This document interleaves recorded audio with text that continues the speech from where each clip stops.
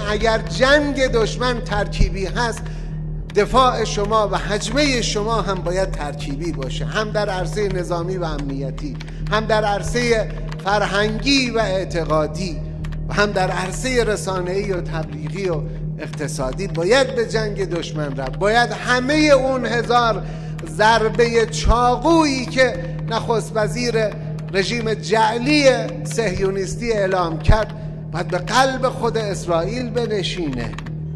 باید نفس اسرائیل رو از درون و از برون گرفت.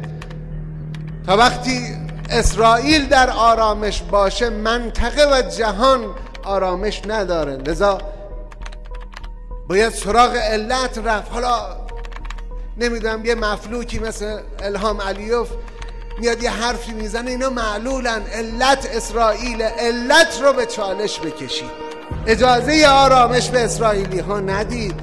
همینطوری که فوتبالیست های ما میگن بهترین دفاع حمله است.